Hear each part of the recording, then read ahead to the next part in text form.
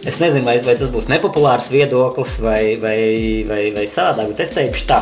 Mana uh, rotaļlieta bija riekstu stanziņas. Kāda būs dzīve pēc mēneša? Ne jau mēs tagad ziedojam naudu mēdījiem, mēs vienkārši pērkam mēdījus. Kā stimulēt cilvēkus uh, kaut ko darīt, lai tomēr ienākumi neapstātos? Ja mēs runājam šobrīd, vai ir krīze, nav jau krīze.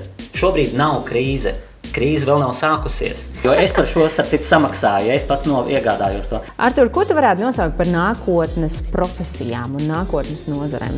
Tas, tas bija labs PR gājiens, es teiktu. Viņi to izdarīja tāpēc, lai, lai dabūtu papildus publicitāti. Mēs šo grāmatu lieliski zinām. Ilze, tu nesi to nopirkusi jau vai pasūtījusi? Nē, nē, tas ir sanāca tā, ka tiešām pirms tiem desmit gadiem, jebkas traks, kas Latvijā notika, vai, vai pat pēdējos desmit gados, to ļoti bieži piedēvēja man. Viņš ir viens no Latvijas mārketinga guru un uzskata, vienmēr to arī paudis savās darbībās, ka jo trakāk, jo labāk.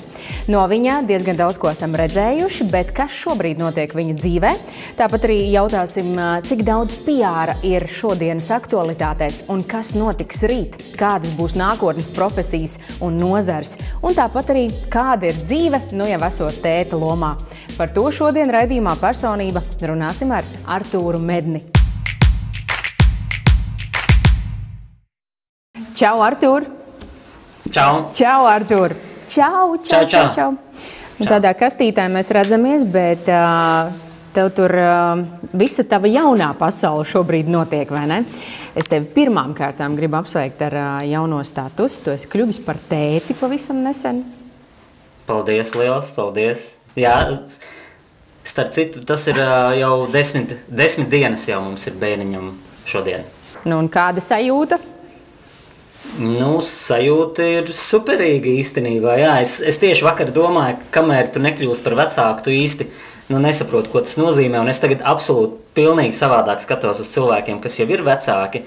Es tagad pilnīgi savādāk skatos uz cilvēkiem, kas saka, zin, kā man jāskrien mājās, man tur bērnam tas vai šis un tā tālāk.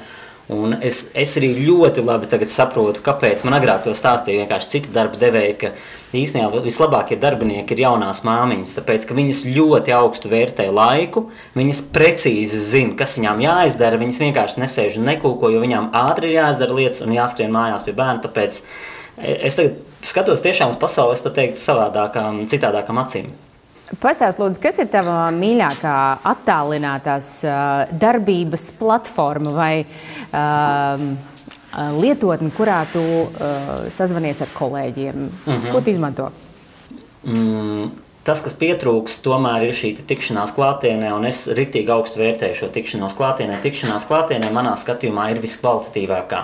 Man nesen bija viena cita intervija, man prasīja, nu kā tas tagad ir, vai nav tā, ka pateicoties video zvaniem, mēs varam izdarīt vairāk. Un, un es nožēloju, ka es neatbildēju aptuveni sekojošo. Es neteicu, es piekrītu, protams, bet es nepateicu vienu lietu, vairāk nenozīmē labāk. Un svarīgāk ir nevis cik daudz tu izdari, bet cik kvalitatīvs ir šī, šis darbs, kas ir izdarītais. Un, ja mēs runājam par komunikāciju, tad tikai klātienē es uzskatu, tiešām tas darbs ir viskvalitatīvākais, tā komunikācija ir visdziļākā, respektīvi visjēgpilnākā, visdziļākā komunikācija ir klātienē, tāpēc, kad vien iespējams, protams, ir jātiekās. Šobrīd Tas nav iespējams, tāpēc ir jāievēro šie apstākļi, kādi ir šobrīd.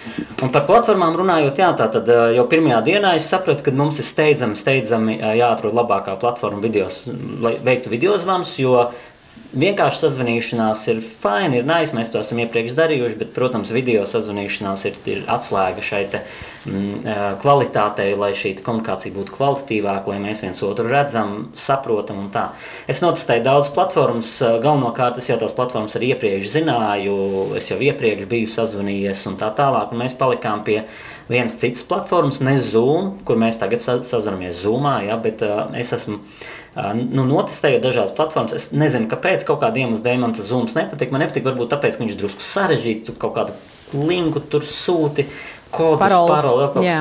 jā, un tā tā, tā, tā. Principā man, man bija vajadzīgs kaut kas tāds ātrs. Ja? Piemēram, vakardien mēs Zoomā prezentējām, ne Zoomā, bet video sazvanīšanās mēs prezentējām video, konferences, video, um, video konferences formātā mēs prezentējām stratēģiju vienam klientam, jau, jaunu stratēģiju.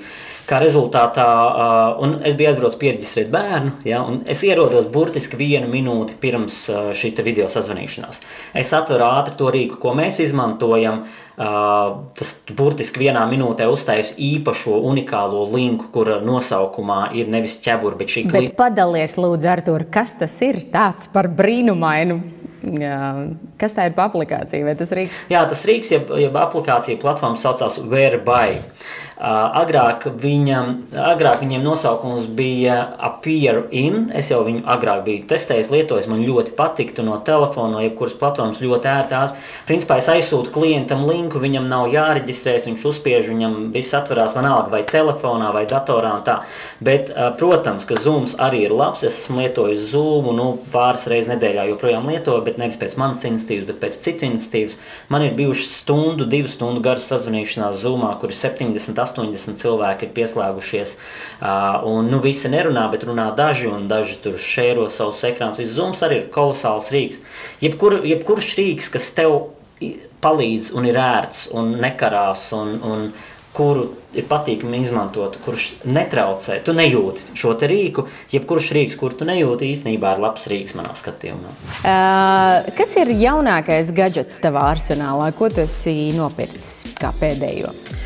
Uh, jaunākais gadgets, ko es esmu nopircis, man tagad jādomā, kas tas būtu, jo viņu ir diezgan daudz. Es viņus, es, lai arī dzīve, mēs jau tagad piekopjam tādu minimalistisku dzīvesveidu jau pēdējos divus gadus un cenšamies vispār neko neiegādāties, bet tik pa laikam, protams, mēs kaut ko nopērkam, un, bet arī tā, lai tas atbilst mūsu minimalistisku dzīves stilam un domāšanai. Jūs varētu padot to, to Eh, es teiktu, tā, es neatceros, vai tas ir pēdējais. Viennozīmīgi tas nav viens no pēdējiem, jo to es iegādājos pagājušajā gadā jau. Bet viens no tādiem, par, viens par no ko es vispār esmu. Viens no ļoti noderīgiem, ir sevišķi, it sevišķi tagad, vēl, kad mums ir bērns, bet uh, sākotnēji es to nopirku priekš mūsu uzņēmuma birojā. Tā kā birojas tagad ir cieta, tad, tad paņēmu līdzi uz mājām. Tas ir lūk šis te šī ierīce Aranet saucās, kura tiek ražota starp citu Latvijā. Um, savu tehniku viņu ražo. Un ko mēs redzam šeit šajā ierīcē? Šī ierīce ir uh, Aranet 4.com ir mājaslapa, kur to var iegādāties. Vēlreiz šī nav reklāma, viņi par to nav samaksājuši man. Ja? Bet uh, šī, ir, šī ir ierīce, kas mēra. Mēs piestādīsim rēķinu vēlāk. Piestādiet jūs, jā, jo es par šo citu samaksāju, ja es pats no iegādājos. Šī ierīce, kas mēra un monitorē gaisa uh, kvalitāti telpā, tātad restīvi ne tikai uh, mitruma uh, koeficientu un te, uh, temperatūru, bet arī ir sevišķi pats svarīgākais tiem lieliem burtiem, lieliem cipriem, ko šeit var redzēt. Ja? Mm -hmm. Uh, tas ir skābekļa daudzums uh, telpā, un šobrīd mēs jau esam uh, ilgi neesam ventilējuši šo telpu. Ilgi esam runājuši. Un ilgi esam runājuši, un tāpēc man jau ir nedaudz dzeltenajā, ja tā būtu laiks izveidot telpu. Un, un tas ir ļoti svarīgi, starp citu, jo, uh, ja tev nav pietiekams svaigais gaiss telpā, tad uh, nedaudz uh, zūd smadzeņu efektivitāte un, un radošums un tā tālāk. Tāpēc es šādu ierīci turēju mūsu uh, birojā, lai, lai zinātu, kurā brīdī mums jāventilē telpa, jo tas zudums ir liels, līdz pat 50% sliktāk strādā smadzenes pie slikta gaisa, un tas ir svarīgi rūpēties par gaisu. Bet es tev piekrītu, ka tas, kā pietrūkst šobrīd visvairāk, ir tās īstās dzīvās fiziskās komunikācijas. Un es personīgi ļoti ceru, ka mēs pie tās varēsim kādreiz atgriezties. Lai gan ļoti daudzi, arī it īpaši epidemiologi un citi speciālisti saka, ka pasaule nekad vairs nebūs tāda tā kā iepriekš. Tu piekrīti šim apgalvojumam? Es Es absolūti piekrītu, un es domāju, ka ne tikai pasaule vairs nebūs kā iepriekš. Daudzas, daudzas lietas vienkārši vairs nebūs kā iepriekš. Biznesi būs mainījušies, nebūs kā iepriekš. Cilvēku attieksme pret laiku, pret uh, sev tuvajiem cilvēkiem uh, nebūs kā iepriekš. Ļoti daudz lietas nebūs kā iepriekš, un, un tas arī to nozīmē. Visa pasaule nebūs tāda, kā tā bija iepriekš. Tas nenozīmē, ka tā būs labāka. Bet tas nenozīmē, ka tā būs sliktāk. Tā vienkārši būs nedaudz citādāk, nedaudz savādāk. Vai tas tomēr nav cilvēka dabā, esot kaut kādā zināmā komfortā, aizmirst par uh, lietām, kas bija iepriekš? Tā kā tas visticamāk būs arī tad, kad šis viss būs pagājis.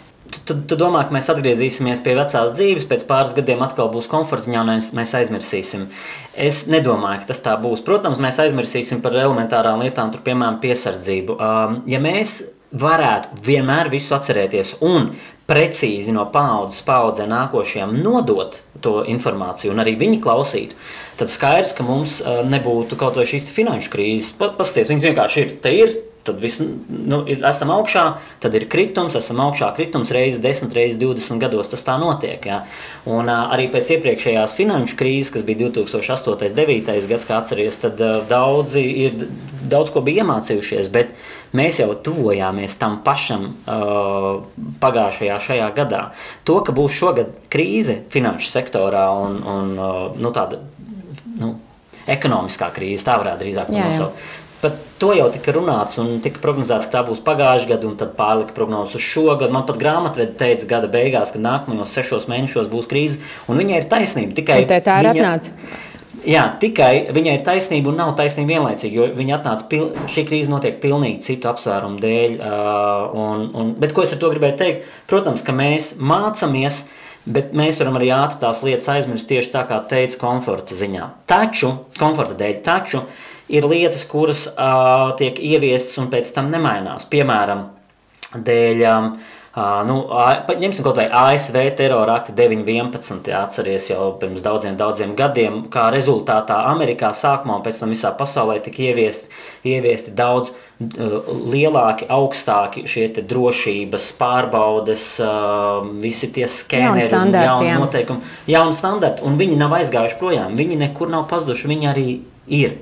Un es domāju, ka mēs piedzīvosim tagad kaut ko līdzīgu, ka tiks ieviesti vai jau tiek ieviesti dažādi jauni uh, nu, sauksim to par standartiem, bet, um, nu, piemēram, Snowdens uzskata, ka uh, mēs esam šobrīd apdraudēti, ka mūsu mm, cilvēki ne, visā pasaulē, uh, runa nav tikai par Ameriku, jā, bet visā pasaulē ir apdraudēti, tāpēc, ka valdības izmantos, protams, šo arī sev par labu, it sevišķi tādas um, totalitāristiskākas valdības izmantos šo situāciju sev par labu, ieviesīs kaut kādus jaunus jaunus kontrols mehānismus. Ja?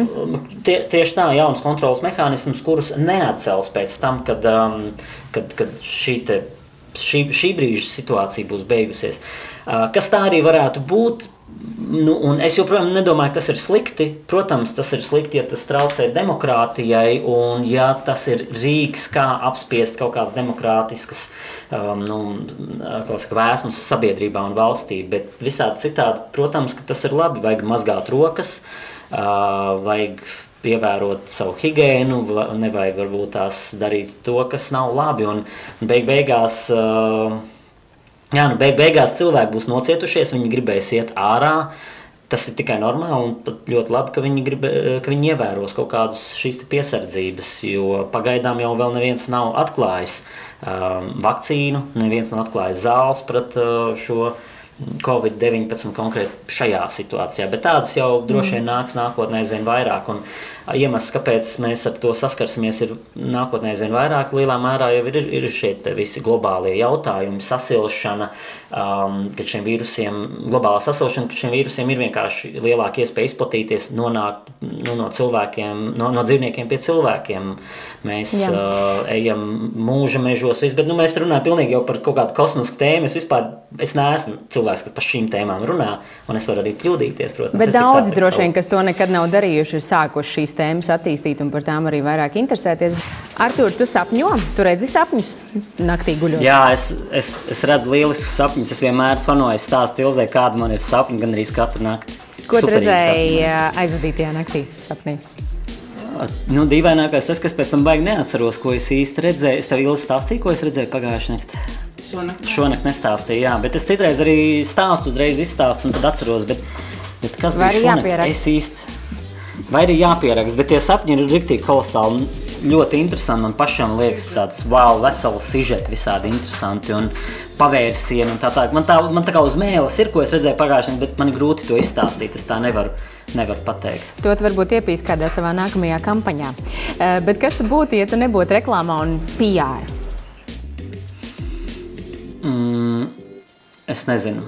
Es. Uh, Nu, DJs. Droši vien, de, nu, DJs es joprojām esmu, jā, bet uh, DJs es esmu bijis arī mūziķis, spēlējis daudzās grupās, bungas un tā, bet uh, Nu, droši vien es būtu uzņēmējs, bet kurā jomā es nevaru pateikt. Man ir viegli pateikt, kurā jomā es nebūtu. Ja tā nebūtu, tās nebūtu finanses, tā nebūtu nafta, tā nebūtu nekustamie īpašumi. Un, nu, restīvi, tās lietas, kas man nu, tā ir cilvēcīgi pašam ļoti neinteresē, nestoties to, ka tur ir liela nauda. Es, es esmu uzņēmējs nevis naudas dēļ, bet tāpēc, ka man patīk tas, ko es daru. Un vienkārši ar to Lai mēs būtu nopelnīt jā, lai būtu drives, lai būtu kaut kas tāds, tāds interesants un foršs. Vienkārši mārketings man ļoti patīk, jo tā ir iespēja strādāt ar ļoti daudzām dažādām jomām, izpausties radoši un vienlaicīgi arī redzēt reālu rezultātu. Mm. Uh, pie kam, pie kam viens, viens maz tāds iestarpinājums, pie kam arī tagad šajos apstākļos vēlreiz ir cilvēki mirst, viss ir slikti un tā tālāk. Ir, ir žēl, ka man tas ir jāsaka, bet mums ir klienti, kuriem ir apgrozījums audzes, piekam, nu tā kā dubultojies. Ir, ir klienti, kuriem mēs esam ieviesuši absolūti jaunus pakalpojumus, ko viņi iepriekš nebija darījuši, un pēdējais mēnesis viņiem ir bijis labākais mēnesis, pie, ne, neskatoties to, ka jā, pasaulē, protams, ir tāda situācija, kā tā ir. Tad atgriežoties pie ekonomiskā aspekta, mūsu ar tevi jā. joma, mēdī, reklāma ir viena no nozarēm, kas cieši šobrīd vissmagāk. Aprīļa paredzētais apgrozījuma apjoms ir aptuveni 40% no ierastā. Ko tu vari teikt šai sakarā? Kā mēs atlapsim, kas ir darāms, lai tas notiktu? Mm -hmm. um, es varbūt, nu, es nezinu, vai, vai tas būs nepopulārs viedoklis vai, vai, vai, vai sādāk, bet es teikšu tā.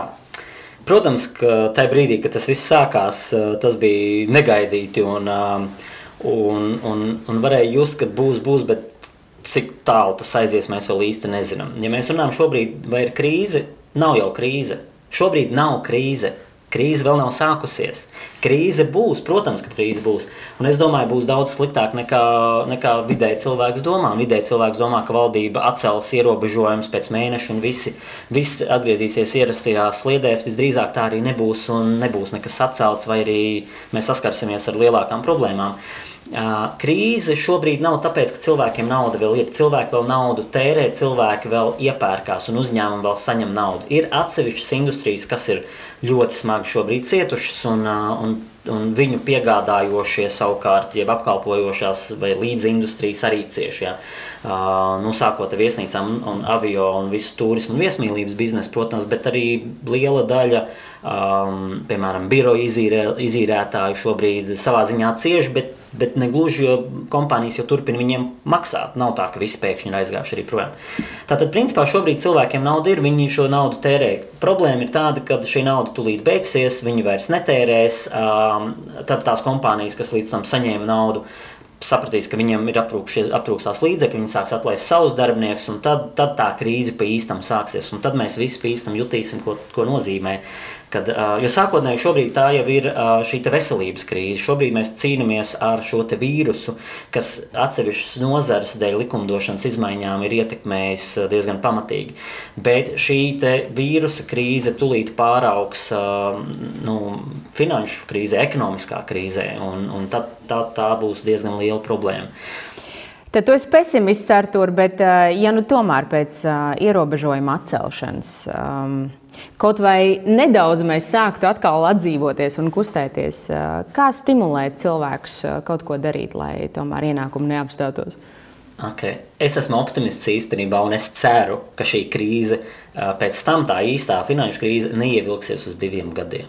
Tāpēc es esmu optimists. Es ceru, ka būs labāk, bet Es nezinu. Un um, atbildot uz tavu jautājumu, man, man atbildi ir, es nezinu. Kāpēc? Tāpēc, ka tad, kad tas viss sākās, um, visdrīzāk visos uzņēmumos, un it sevišķi mūsu industrijā, kā tu teici, ja tur mēdījos un tā tā, visdrīzāk vadības cilvēki nāca kopā, tērēja pieci cilvēki, piecas stundas katru reizi, piecas reizes nedēļā tiekoties, domājot, ko darīt, ja notiks šis, tas vai tāds scenārijs tam līdzīgi. Mēs mūsu uzņēmumā pieņēmām uh, pilnīgi pretēju lēmumu. Mēs pieņēmām, no, nospriedām galvenokārt viena iemesla dēļ, mēs nospriedām, ka mēs tā nedarīsim, jo mēs neesam gaišreģi, un kur, nu, protams, arī finanšu liela eksperta arī mēs neesam, bet pat lielie eksperti šobrīd varētu kļūdīties. Tātad mēs neesam gaišreģi, mēs nezinām, kas būs rītdien. Un tā rezultātā tad iedomājies, ka tev ir laiks darba dienā, piemēram, 8 stundas. Tātad tev ir laiks vai nu 8 stundas domāt un gruzīties par to, kas tagad notiek un kas notiks, un domāt entos scenārijus, vai arī šo laiku pārvirzīt fokusam uz kaut ko citu, fokusam uz klientu, fokusam manā gadījumā uz darbiniekiem, arī kā vadītājiem, ja? fokusam uz komandu, kā komanda strādā, fokusam uz klientu, tāpēc, ka skaidrs, ka jebkas, ko mēs bijām mēnesi iepriekš gatavojuši klientiem, tas viss bija vienkārši jānostopē, 90% Jā. no tā bija negluži jāizmet miskastē, bet jāpatur nāk priekšdienām un, un jāpārtaisa strat jānoliek atvilknē un jāpārtaisa stratēģijas. Un šobrīd mums katru piekdienu ir sazvanīšanās ar kolēģiem, nu, sapulcē mēs no pirmdienas rīta uz piekdienas vakaru pārcēlām, ja, un visi video, un, un katrs stāsta savas sajūtas un tam līdzīgi. Šobrīd ir tā, un es esmu runājis arī ar dažām citām aģentūrām, darba ir vairāk, nevis mazāk. Tiešām darbs ir kļuvis Bet vairāk. Bet to nejūt. Reklāmas pauzes radio kļūst arvien īsākas. Reklāmas pauzes radio kļūst īsāks. Jā, reklāmas pauzes radio kļūst īsāks, un ne tikai radio, arī televīzijā. Tā tā, kāpēc? Tāpēc, ka skaidrs, ka tajā brīdī, ja Rīgas miesniekam bija kampaņa līdz šai situācijai, ja līdz Covidam kampaņa, hei, ejam ārā, grilējam gaļu ar draugiem, pavasaris nāk, tiekamies, tur, tur, tur, un aliņam tādas reklāmas. Skaidrs, ka šīs reklāmas ir momentāli jāaptur un jārauj ārā. Un tāpēc Iespējams, mēdī arī nedaudz pārspīlēja, varbūt nebija arī tik traki, bet skaidrs, ka uz kaut kādu brīdi likās, ka nu ir par 50, par 60% kritums. Jā, šobrīd varbūt tas nav tik traki. Un, um, Un, un, un kaut, kaut kur mēs nedaudz, es domāju, atgriežamies drusku, drusku labāk. Bet pirmais tas šoks bija. Un loģiski, ka tradicionālām reklāmas aģentūrām ir arī šoks, kā, ko mēs tagad darīsim. Bet kā ko vienkārši pārtaisīsim reklāmas, taisīsim jaunas šīs kampaņas. Un, un domāsim savādāk. Mūsu gadījumā, tā kā mēs esam digitālā mārketinga aģentūra, mēs neko netaisām ne rāģiņiem, ne televīzijai, ne presē, ne videi. Uh, nu mums tā starpība, tas, ko mēs darījām, mēs turpinām to arī darīt. Uh, mums nepalika mazāk, mums palika pat, es teiktu, savā ziņā vairāk, jo klienti apturot uh, lielos klipus un nespējot ātri šos klipus priekš televīzijas jaunus sagatavot, skaidrs, ka viņi fokus pāriet uz digitālo vidi, uz sociālajiem mēdiem, it sevišķi Facebook un Instagram, bet arī Google un YouTube un tā tālāk. Un, um, un mums tas darbs kaut kādā ziņā pat palika vairāk. Noraksturo lūdzu trīs vārdos sevi kā priekšnieku. Kāds tas priekšnieks? Es domāju, ka tas ir jāprasa droši vien, uh, droši vien maniem darbiniekiem. Es pats nevarētu teikt. Es tikai varētu citēt uh, Nu, es, es esmu uzņēmējis jau nu, 15 gadus, un ja pat vairāk, 2004. gadā es dibināju pirmo uzņēmumu. Un, uh, un es atceros, vien, viena no mūsu pirmā uzņēmuma darbiniecēm, uh, manuprāt, pat sekretāra pēc daudziem, daudziem gadiem, uh, nu, desmit gadiem vēlāk, teica, ka es esmu bijis labākais viņas priekšnieks, jebkad mūžā kāds ir bijis. Es ceru, ka es tāds arī esmu šobrīd maniem kolēģiem. Es cenšos ļoti. Trīs vārdi ir labākais priekšnieks ever. Es tā ceru, es tā ceru, bet vēlreiz es pats par sevi to negribētu teikt, jo priekšniekam mēs būt citējām, ir grūti. Mēs citējām. Kas dara? Mēs citējām, jo priekš, priekšniekam būt ir grūti, jo tev ir jāpieņem arī nepopulāri lēmumi, diemžēl, un tāpēc tas nav viegli. Kas būtu tā superspēja, ko tu sev gribētu? Starp citu, trīs vārdos labākais priekšnieks, tas nav viegli. Tie ir mani trīs vārdi. Tas nav viegli. Okay. Okay, superspēja. Labi superspēja, ko es sev gribētu, ir uh, būt punkt, uh, vairākas man tāds būt, bet, bet tas viss tādā vienā varētu likt vienā, vienā superspējā. Būt uh, punktuālam un spēt uh, ļoti, darīt ļoti sistemātisku, tādu smalku darbu, kas prasa ļoti lielu uzmanību. Es tomēr uh, man patīk pārslēgties starp dažādiem uzdevumiem, skatīties uz lietām tā vispārīgi no, no tāda lielāka attāluma un, un teikt, kur mēs ies, iesim. Nevienmēr es spēju ilgstoši darīt kaut kādus tādus sīkumus, uh, iedziļināties un, un izrakties līdz kaut kādam galam. Tas man nedaudz trūkst, to es gribētu. Ko tu saviem klientiem, skaidrs, kā digitālās aģentūras saimnieks, tu spied arī uz digitālo reklāmas izvietošanas veidu, bet kur tu ieteiktu reklāmas nolūkos ieguldīties šodien kompānijām visvairāk? Uh, nu, to absolūti jau pareizi pateikt. Protams, ka es ieteikšu tur, kur mēs arī darbojamies, un tas ir loģiski. Tāpēc arī es saprotu, kāpēc uh, tie, kas strādā ar tradicionāliem mēdiem, stāsta un rāda pierādījumus, ka vajag tur likt, un tie, kas strādā ar digitālu rāda piedāvājumus, ka tur. klientam pašam tas ir jāizlemj. Bet, ja tu jautā man, tad, protams, ka es redzu, ka šobrīd nu, digitālā vide ir tā efektīvākā kaut vai tāpēc, ka it sevišķi šajos apstākļos tu vari ļoti ātri reaģēt. Tev nav līdzīgi kā tas tradicionālajos mēdījos nedēļām, nu vai vismaz dienā vai nedēļu vai vairāk jāgatavo šis te klips vai šie, šis te materiāls. Tad pāris dienas iepriekš ir jāvienojas par izvietošanu un tad viņš lēnā garā sasniedz kaut kādu šo te auditoriju un, un lielā mērā tu maksā par visu sasniegto auditoriju neatkarīgi no tā, cik, cik tur ir tev vajadzīgi, cik nē. Digitālajos mēdījos tomēr tā targetēšana ir ļoti, ļoti precīza. Tas nozīmē, ka mēs varam paņemt nu, no visas auditorijas tikai pēc demogrāfijas, pēc dzīves vietas, pēc vēl kaut kā konkrēta auditorija un parādīt viņiem Iedomājieties vienu un to pašu bildīti ar vienu un to pašu tekstu. Tikai vienā bildītē ir vīrieši, vienā ir sievietes, vai vienā ir uzruna latviešu, vai vienā krieviski, vai vienā mēs runājam ar pensionāriem, vai otrā ar studentiem. Un, un, un katrs redz tieši to mēsīšu, kas viņiem ir vajadzīgs. Mēs varam uzrunāt jebkuru auditoriju faktiski ar jebkādu budžetu. Tas budžets var būt liels un varbūt ļoti, ļoti, ļoti maziņš. Un tas notiek ļoti ātri. Tas notiek tajā pašā dienā, ja tev vajag ļoti ātri apziņot, tev ir kaut kas hops, ko tu gribi. Nu, liela auditorija uzreiz sasniegt. Tāpēc digitālā vide, manuprāt, šobrīd arī ir ne tikai šobrīd, teiktu, pēdējos nu, desmit gadus arī ir nu, ļoti efektīvi izrādījusies. Tas nenozīmē, ka televīzija ir neefektīva, jo projām televīzija skatās ļoti daudz cilvēku, un es domāju, ka šajos apstākļos televīzijas patēriņš ir pieaudzis sevišķi dienas laikā, kas agrāk tā tad nebija novērojams. Radio patēriņš arī ir audzis sevišķi dienas laikā, kas agrāk bija, tu zini, tad, nu, tikai no rītiem bija prime time un, un tad auto laiks, ja cilvēki sēž automašīnās. Bet šobrīd arī radio ir, ir audzis kopumā, ja tā paskatās. Um, manā, man, manuprāt, arī. Uh, bet um, nu, digitālā vide ir vienkārši daudz efektīvāka. Un skaidrs, ka tas ir Facebook, tas ir Instagram, tas ir Google, tas ir YouTube. Uh, liels uh, uzņēmums Tele2, tad, kad viss šī jēga sākās, paziņoja, ka viņi visu savu reklāmas budžetu novirzīs uz vietējiem mēdījiem. Tātad aizies no Google, Jā. aizies no YouTube. Jā. Un, un Facebook. Kā tu uz to skaties?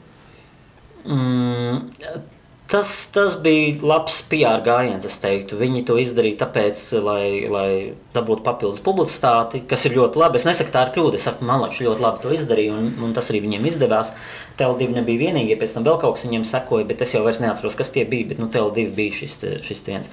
Tas ir numur viens. Numur divi, uh, viņi rīkojās arī, es uzskatu, ļoti sociāli atbildīgi, jo skaidrs, ka tajā brīdī, kad tas viss sākās, kad apturēja visas šīs kampaņas, uh, tradicionālajos mēdījos, uh, ceļš televīzijā ļoti daudz, un arī kaut kādā ziņā rādio un presē, un vide vispār mēs redzam šobrīd ir tukša ar komerc reklāmām, tikai sociālās reklāmas, ja, uh, kas galvenokārt skan aptuveni sekojoši. Uh, ja tu šo reklāmu redzi, tad, tad kaut kas nav ok, jo tev ir jāsēž mājās. Jā. Nu, lūk, un, un Tele2, es domāju, izdarīja ļoti pareizi. Viņi no vienas puses rīkojās sociāli atbildīgi, no otras puses tas bija labs arī PR gājiens. Paspodrināja tēlu, jā.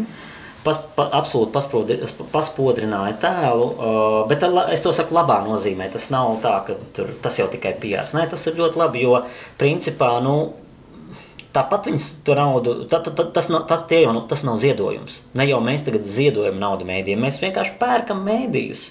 Un, un nu, būsim reāli, ja paskatās Tele2 budžetu iepriekš televīzijā, tas, tas taču ir viens no top 5 reklāmdevējiem televīzijās. Nu, ja nu kāds to vēl nezina, ja. tad, ja mēs paskatāmies viņu budžetu televīzijā un viņu budžetu uh, digitālajā vidē, nu, tās tā proporcijas, cik ļoti par labu bija televīzijai ja, un, un Latvijas mēdījiem vispār. Nu, priekš tā PR, ko viņi ieguva, apturēt uz kaut kādu īsu laiku uh, sociālajos mēdījos, Facebookā vai Google reklāmas, nu, tas ir sīkums, es domāju, viņiem. Tu tici liktenim vai uzskati, ka viss ir mūsu pašu rokās? Mm, es domāju, jā, ka es drīzāk teiktu tā, ka es ticu, ka visu mēs varam sasniegt uh, paši ar darbu. Uh, un liktenis ir tikai tik tālu, cik tu esi īstajā brīdī un īstajā vietā, bet tāpat tās, uh, un katrs eventuāli mēs tādā vietā esam nonākuši, vai pat ko, konstanti atrodamies, tikai citi māk to izmantot un citi nē. Tāpēc visu var sasniegt ar darbu. Uh, tas nav liktenis, kādam ir vairāk vai mazāk. Tas ir darbs. Tu pieminēji, ka arī YouTube jūs mājās, pat ģimenes lokā patērējat. Ko jūs tur visbiežāk skatāties? Tieši YouTube platformā. Um, nu, YouTube mēs skatāmies dažādus, tā skaitā YouTuberus, ārzemju YouTuberus mēs skatāmies, mēs skatāmies dažādus video, kas saucās, kas sākas ar nosaukumu How to. Nu, tā kā tiešām kā izdarīt kaut kādas lietas. Tagad tas ir vairāk saistīts ar bērniem, agrāk tas bija vairāk saistīts ar, ar dažādiem rīkiem, ar plānošanu, ar, ar sevis nu, attīstīšanu, nu, nezinu, sākot ar elpošanu, beidzot ar tīri praktiski kaut kādu jaunu aplikāciju, kas palīdz man biznesam vai darbam. Es teiktu, lielākoties tas ir, ir vai nu ļoti praktiski noderīga informācija, vai arī kaut kas tāds, kas mūs iedvesmo. Nu, ceļotāji kaut kādi. At, at, nu, Kaut kas tāds, es teiktu. Jā. Jā, kas ir tas, ko tu esi meklējis um, tieši bērnu lietās, how to sadaļā YouTube? Pēdējais. Mm, pēdējais, ko es, ne, es, es to nemeklēju, man to sieva atsūtīja. Pēdējais, ko es esmu skatījies, ir desmit veidi, kā turēt eh, ma mazuli pareizi. Handlings. Handlings tas saucās, jā? Handlings, to starp, jā, jā, tā ir jā, daļa no jā. handlinga. Artur, tu reklāmas industrijā esi tas, kurš Latvijā ir aizsācis dažādas drosmīgas, trakas idejas. Nu, mēs atceramies Ventspils govi, zemeni, uh, futbola spēles vidū laukumā. Nav gadījumā tā, ka pēc šīm tavām spilgtajām performancēm uh, nav nekas tikpat uh, iespaidīgs sekojis. Kāpēc tā? Mm, tu domā, pēc, uh, restīvi, vai ir bijis kaut kas vēl tikpat skaļš, kas, um, kā, kā šīs lietas, un šīs ar citu nav vienīgās arī, kas toreiz bija.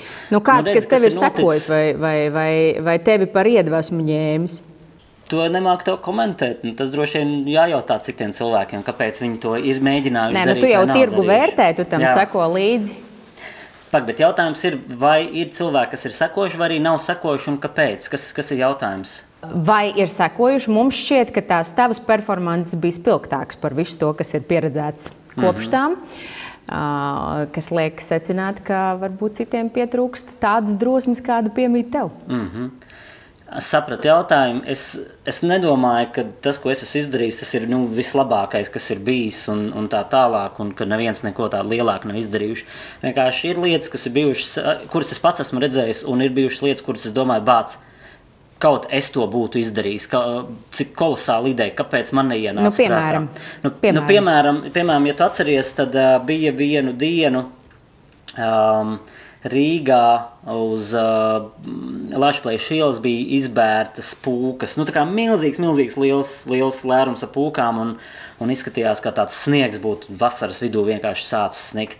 Kas, protams, bija organizēts, un pēc tam tapa filmiņi. Es pazīstu arī tos cilvēkus, kas to izdarīja. Un, un ļoti bieži cilvēki pēc tam piedēvēja. Kas tas bija? Par, kas tā bija par uh, akciju? Toreiz? Vienkārši tāpat tās forša akcija, tieši tāpat kā mēs to darām. Nu, tā tad, mm iedomājieties, milzīgs, milzīgs lērums, daudz ar pūkām, tās, kas ir tās tie, kā saucās tie brūnie uz tādiem zaļiem stiebriem. Vilkvālītes. Jā, no vilkvālītēm tā, tad, tad tieši tā sa, savāks milzīgs, milzīgs liels mais ar pūkām, ar busiņu aizvest uz jaunā Rīgas teātra jumta, no turienes izbērts, un iedomājas visa, visa Lačplēša iela, vismaz tas posms starp Tērbatas un Baroni iela ir vienkārši balts, nu kolosāli akcija, manuprāt, tiešām ļoti forša. Un, uh, un, un es domāju, tajā brīdī bācis kaut es būtu to uztaisījis. Manuprāt, lieliski, superīga ideja.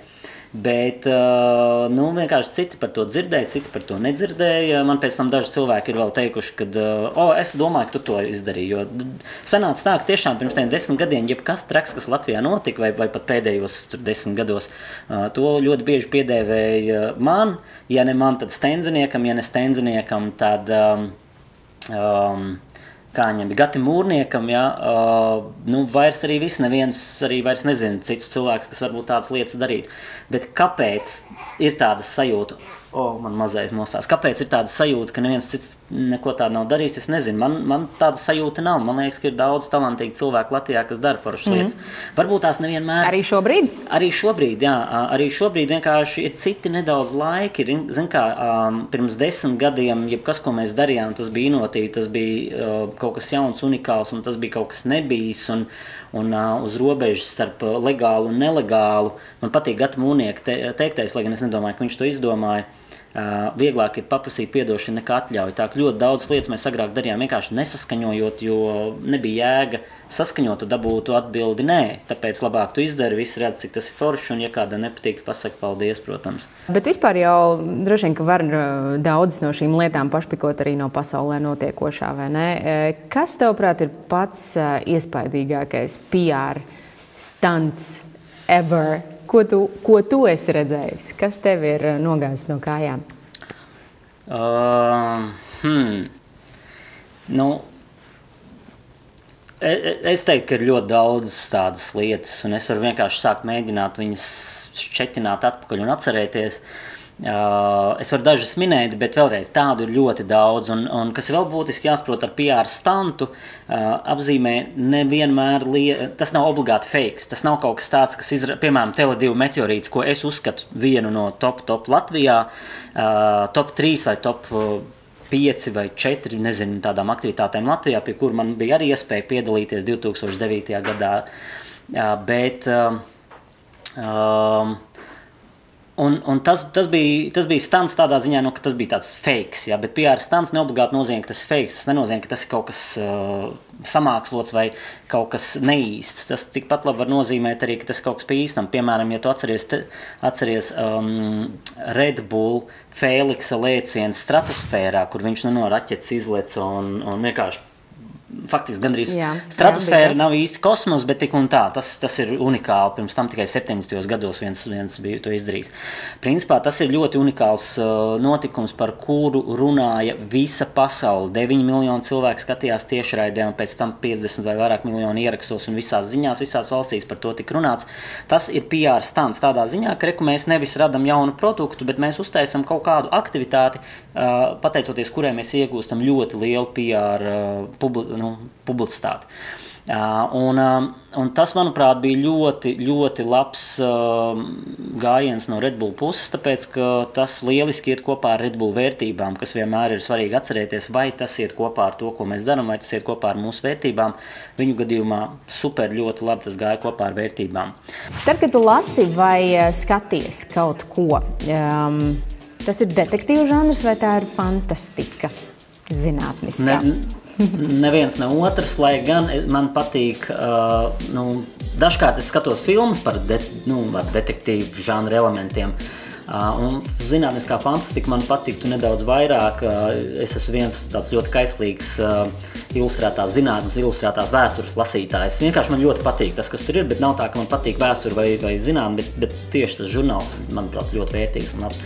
Taču uh, tad, kad es pats lasu vai klausos grāmatas, vai skatos YouTube video, retos gadījumos, vai es teiktu, droši vien nekad tā, tie nav romāni vai tā nav daļa literatūra. Galvenokārt tas ir, tas ir kaut kas vairāk saistīts ar zinātni, vai ar psiholoģiju, vai ar Jā. Vai nu dokumentāls, jo mēs, mums ar sievu ļoti patīk, pat ja mēs skatāmies mākslas filmas, patīk mākslas filmas, kas balstītas uz patiesiem notikumiem, jo mēs uzzinām arī kaut ko pa īstam, vērtīgu, pa īstam, kas ir noticis pasaulē. Un arī grāmatas, kad mēs lasām tās galvenokārt par attīstību, par biznesu, par mārketingu, par psiholoģiju, par uh, nezinu, laika menedžmentu, par jebko, kas var tīri praktiski noderēt tev dzīvē, uh, un tu nezini, kad. Personības izaugsmē.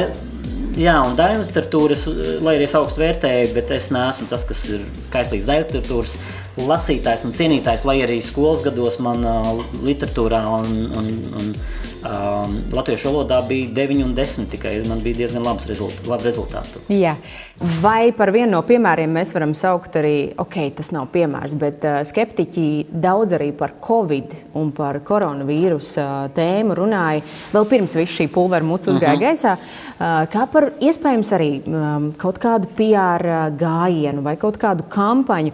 Un pat īsi pirms sākās šī globālā pandēmija, cilvēki dalījās sociālajos tīklos arī ar karikatūrām kur tika norādīts, ka, piemēram, globālajai sasilšanai vajadzētu noalgot to pašu publicistu, kas strādā ar koronavīrusu. Kā tu skaties uz to, kā, tas, kā cilvēki to vērtē, un vai tu pats ticēji vienai vai otrai teorijai? Tajā brīdī. Uh, vienai vai otrai teorijai, ka tas ir viss fake un samāksloti? Jā. Es nevienu brīdi tā nedomāju, ka tas tā varētu būt. Nu, tā kā absolūti. Un plus arī es neticu nevienai no tām sazvērestības teorijām. Es uzskatu, ka tas ir absolūtās muļķības, ko, ko daži cilvēki tur stāsta Facebookā. Bet uh, skaidrs, ka nu, tur nav apakšā nekāda nu, PR. Drīzāk tur ir liela krīzes komunikācija dažādām pasaules organizācijām, lielām organizācijām. Um, jo nu, tā ir krīze uzņēmumiem, kam ir jāatlaiž simtiem vai tūkstošiem darbinieku, vai, vai, vai kas nevar vairs izpildīt savas saistības pret saviem klientiem un, un, un tā tālāk. Nu, Es skatos, ka nedaudz putrojos, bet nē, nu skaidrs, ka tur nav nekāds, tas nav organizēts, tas tā nav nekāda ne aģentūra, ne, ne es nezinu, tur kaut kāds Pasaules banka vai vēl kaut kas. Es, es pat nezinu, kas varētu būt tur ieinteresēts kaut kādā tādā tik drausmīgā lietā, un es domāju, ka noteikti tas, tas tā nav. Tos īstos mesiģus ārzemju kompānijās, lielajos uzņēmumos, piemēram, jau sen nodod nevis kaut kāds bezpersonisks avots auditorijai, bet gan viens konkrēts cilvēks, kas ir lielākoties arī kompānijas vadītājs. Tātad mārketinga centrā ir šie lielie vārdi - Apple, Steve Jobs. Um, Ilons Masks Teslai. Kāpēc Latvijā mēs neredzam šādus piemērus, kur um, priekšplānā iznāktu arī pats uzņēmuma vadītājs. Mēs redzam, šā... reklamējot sevi. Mēs redzam arī Latvijā šādus piemērus. Normons Bergs. Vai tu vari nosaukt vēl kādu citu no cilvēku no savas tehnikas? Nē, bet Normūnu Bārgu mēs zinām visi. Mēs, vai mēs zinām kādu citu cilvēku izņemot, nu, ja mēs runājam piemēram nezinu, par Air Baltica, ja? vai ir vienkārši uzņēmumi, kuros ir šīs spilgtas personības, kas ir šī runas cilvēku runas personas, un ir uzņēmumi, kuros tādu cilvēku nav, trūkst, vai viņi vienkārši nevēlas. Mākslīgi to nevar uztaisīt. Uh, nē, var arī mākslīgi, es domāju, uztaisīt. Es domāju, es nezinu, man nav pierādījumu tam, bet uh, tas var arī būt nemākslīgi, ja mēs paņemam uh, kaut vai dažus, dažādus lielos uzņēmumus, nu, paņemsim kaut vai tur ar Baltiku. Ja tad viņu gadījumā nevienmēr un ne, ne visos gadījumos ar mēdījiem ir jārunā uzņēmuma vadītājiem. Tāpēc viņiem ir attiecīgi, attiecīgā departamenta vadītājs vai, vai speak, spokesperson, kā viņi sauc, kurš arī uh, uzņemās šo iniciatīvu un runā. Un tas viņa darba pienākums, viņš runā ar, um, ar mēdījiem. Un, uh, un vienkārši ir uzņēmumi, kuros tie cilvēki, kas ir vadītāji, un ļoti bieži viņi ir paši arī īpašnieki, viņi ir ļoti harizmātiski. Un viņi patīk mēdījiem, un viņi spēj pateikt, uh, ko viņi domā. Viņi ir drosmīgi, viņi nebaidās. Uh, nu, faktiski viņiem ir visas līderu dotības, visas līderu kvalifikācijas. Un, un tāpēc mēs par viņiem zinām. Un tāpēc mēs zinām, kas ir. Mēs varam no, no galvas nosaukt Steve, kas, kas ir uh, Apple dibinātājs un ilgadējais vadītājs, un tad, ja jūs atceraties, nebija vadītājs un atkal bija un tā tālāk, Steve Jobs. Bet vai mēs zinām, kurš šobrīd ir Apple vadītājs? Kā viņu sauc? Vai mēs zinām, uh, jā, mēs zinām Billu Geitu, bet Bills Geits jau sen vairs nav Microsoftā. Vai jūs varat pateikt, kā sauc šobrīd uh, cilvēku, kas ir Bill Gates vadītājs. Tas ir uzņēmuma vadītājs. Jā. Jā, tas lielā mērā tomēr vienmēr ir atkarīgs arī no šī cilvēka. Un tas ir, es tos novēroju absolūti visās industrijās. Pat tādās industrijās, kas šķiet nu, ir galīgi neinteresantas un garlaicīgas, un kaut kādi tur, nezinu, durvju ražotāji vai vēl kaut kas, bet starp viņiem vienmēr ir šie viedokļu līderi, starp viņiem ir spilgts personības līderi vispār biznesā un, un dzīvē kurus mēs zinām, pateicoties lielā mērā mēdījiem, bet ir industrijas, kuru līderi neparādās mēdījos, bet viņus zina dēļ viņu viedokļu, tur, kur viņi piedalījušies, ko viņi ir izdarījuši un sasnieguši. Nē, nē, tā ka jā, tā ka es tagad pats tikko atbildēju savu jaut, uz, uz, uz to tavu jautājumu, vai, vai tos var radīt mākslīgi. Es teicu, ka, ka var, bet tagad es sāku domāt, bet īstenībā laikam, laikam jā, mākslīgi tomēr varbūt nemaz arī nevar. Sarežģīt. Jā. Varbūt sarežģīt, jā. jā. Uh, tev kā pašam esot dīdžejam, mm, ko tu varētu nosaukt par savu mīļāko dīdžeju? Kuru no visiem pasaulē vairāk vai mazāk zināmiem? Numur viens dīdžejs tavā topā. Manā, manā topā numur viens dīdžejs ir droši vien tāds reti, kuram zināms, Kepdārģis. Kepdārģis ir uh, tāds jau, nu jau ap 60, 70 gadiem, manuprāt, viņam ir uh, dīdžejs no Lielbritānijas, kas uh, spēlē funk un acid jazz un, un, un šāda stila plates uh, mūzikus no platēm. Un, uh, viņš ir izdevis arī dažādas pats plates kompilācijas ar veco 70, 80 gadu funku.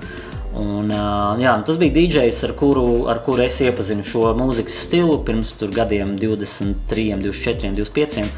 Un ar kuru man bija tas gods 2001. vai 2002. gadā kopā uzspēlēt vienā, vienā, vienā pasākumā, kuru mēs paši organizējām. 2001. gadā Džafa Rīga organizēja tādu vasaras, vasaras ballīti Viļņā. Restīvi mēs Latvijā sasēdinājām lielajā autobusā 70 cilvēkus, noīrējām klubu Lietuvā, tur vēl daudz cilvēku sanāca. Atvedām kebu dārģu uz Latvijas, tas bija tieši vēl manā, uz, uz Lietuvas atvainojos, un tas bija tieši manā vārda dienā vēl arī, un tas man bija tās liels gods uzspēlēt ar savu algu kopā. Nu, viennozīmīgi priekš manis tas ir kepdārģis. Vai mileniāļi, par kuriem tu tik daudz runā, izkonkurēs mūsu paudzi? Es gribētu teikt, ka mūsu paudze arī ir mileniāļi. Es domāju, ka gan es, gan tu mēs Tomēr. absolūti mēs esam mil mileniāļi. Jo uh, mileniālis pēc definīcijas ir, protams, cilvēks ar, noteik, ar noteiktu vecumu. Ja? Un kāpēc viņus sauc par mileniāls? Tāpēc, ka tie ir cilvēki, kas ir definīcija, kā man viegli atcerēties. Vienmēr ir ļoti vienkārši cilvēks, kas ir dzimis pagājušajā gadu tūkstotī, bet pilngadību sasniedz šajā gadu tūkstotī. Tāpēc tas ir mileniāls. Ja?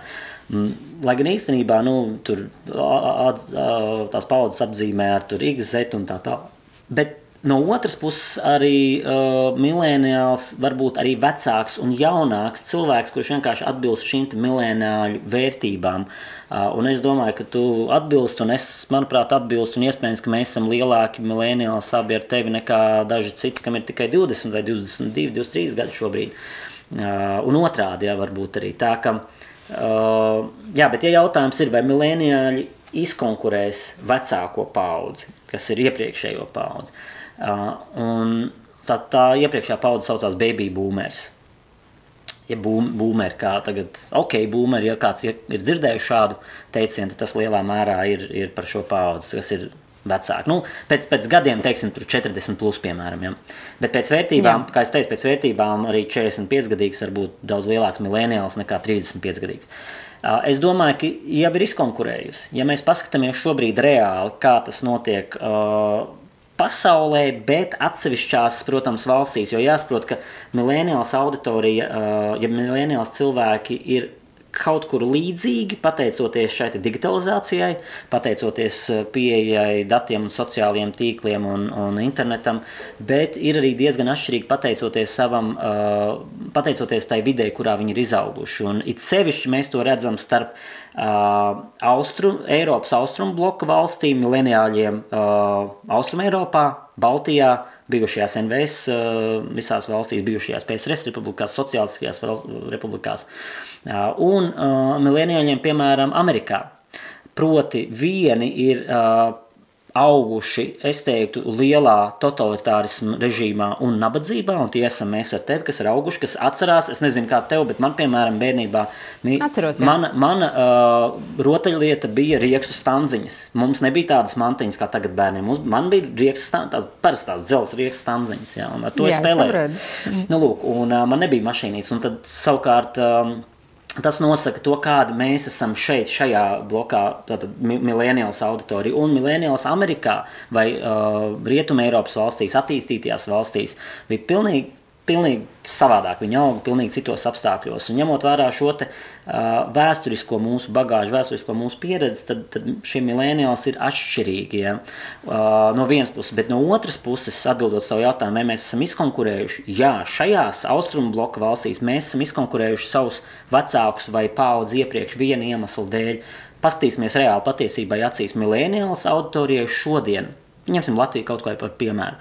Mileniāls autorijai šodien ir labāki darbi, labāk apmaksāti darbi, viņi ir pieprasītāki darba tirgu, viņi saņem divas, trīs, daži pat desmit reizes vairāk nekā viņu vecāki saņem šobrīd vai jebkurā savas dzīves laikā iepriekš ir saņēmuši. Viņi ir labāk Jā. materiāli nodrošināti, viņi ir ar labākām izglītībām, daudz atvērtāk, modernāk domājoši un tā tā tā tā. Restīvi, es teiktu, ka viņi, nu, sāksim ar darba tirgu, bet tur var precizēt, kurā jomā ir izkonkurējuši, protams, jā, bet ja mēs runājam par darba tirgu un, un pieprasījumu darba tirgu un, un nodarbinātības procentiem un tā tālāk. Viņi, protams, ir uh, jau aizgājuši garām un viņiem ir nu, kaut kā minimums vairāk naudas un, un lielāka ieņēmuma. Uh, pēc vērtībām, nu, tad kā kurš, jā, uh, jāņem vērā, ka tā kā mūsu austrumu bloka valstīs milēniāls pieauga, šīs nabadzības apstākļos un piedzīvoja pārēju no šīs nabadzības uz tādu ļoti uh, atkal, nu, turīgu laiku, kā mēs tagad dzīvojam. Skaidrs, ka līdz ar to mums ir drusku cits vērtības, un tāpēc nebrīnieties, ka kāds jūsu uh, vienaudzis uh, vērtē augstāk par uh, pastaigu dabā jauno BMW mašīnu vai dārgu rokas pulksteni vai kaut kādas šīs materiālistiskas lietas. Jā, mileniāls šeit pie mums ir materiālistiskāki tikai tāpēc, ka mums bērnībā nebija šīs lietas, un tagad mēs varam atļauties un mēs to pērkam. Kamēr nu, ASV, ja mēs paņemam konkrēti, mileniāls šobrīd ir nabadzīgākā paudze visas Amerikas vēsturē. Viņiem nav darbs, ļoti augsts bezdarba līmenis, viņiem nav ieņēmumi, viņi faktiski piedzīvo krīzi, ja, lielie šie studiju parādi un tā tālāk. Un tā tālāk. Un tur, tur turīgāk un veiksmīgāk ir iepriekšējā paudze. Artur, ko tu varētu nosaukt par nākotnes profesijām un nākotnes nozarēm? Nu, piemēram, vērtējot tādu nogriezni kā nākamie 10 vai 20 gadi. Šis ir uh, labs jautājums, jo uh, es nezinu īsti. Es tagad varu teikt, ka uh, 90% no maniem darbiniekiem mūsu uzņēmumā, tātad mēs esam ap 30 cilvēkiem šobrīd, mm, 90% no amatiem kas mums ir šobrīd, neeksistēja pirms desmit gadiem. Faktiski, nu, labi, es arī pats šo amatu radīju. Ja, tā, tad, ja es jau savu pirmo uh, soli mārketingā spēru pirms gadiem 18, digitālajā mārketingā pirms gadiem 15, un, un tieši aģentūru tādu kā sociālajie mēdī vai digitālais mārketings nodibināja pirms 11 gadiem. Un, uh, ja mēs paskatāmies, uh, paskatāmies to samats, kas mums ir šobrīd, uh, Vai tad, kad tie radās, mēs bijām nu, pirmie, kas, kas uztaisīja, kam bija amats sociālo tīklu, satura veidotājs vai menedžers uzņēmumos un tā tālāk. Ja. Um, Un tie amati nepastāvēja pirms 11 vai pirms 15 gadiem Latvijā. Varbūt kaut kur pasaulē jau bija. Līdz ar to, kas būs pēc 15, 20 gadiem, es neņemos spriest. Es drīzāk varētu teikt, ka es esmu pārliecināts, kas nebūs un kas uh, būs tādā kā. Kā tas ir skills, ja, tātad uh, zināšanas, prasme, pra, prasme, prasme, tieši tā prasme jā. līmenī. Jā. Man būs jāpierakstās, izskatās, man būs jāpierakstās. Jā, tu esi, man, man, sieva, man sieva saka, ir, ir pierakstījusies šim kanālam. Ir pierakstījusies, tas super. Tad mājasēmniecība arī skaitās, pat ja tu to neesi pats izdarījis. Uh, jebkurā gadījumā, Artur, es tev gribu pateikt paldies arī caur mazu dāvanu, uh, ko mēs tradicionāli jā, pasniedzam visiem, kas uh, velta laiku sarunai uh, mūsu raidījumā. Un, ja drīkst šoreiz nu, šiem īpašiem apstākļiem atbilstoši, tad nevis tu pats atvērsi, bet es atvēršu tavā vietā, un Jā. tad mēs to grāmatu nogādāsim. Jo nu, tu redzi, ka tā ir oh. grāmata, tur nav ko slēpt. Jā. Un es tūdaļ atsaiņošu, un tu redzēsi, par ko Ilze. ir stāsts. Mēs cenšamies. Paņem, Ričārd. Tā, Ričardam varbūt arī šī noderēs vēlāk. Man ienāca katrā. tā, es pat nelasīšu, tu redzi? Oh. Jā, es, Varbūt tev ir jau bibliotekā šāda.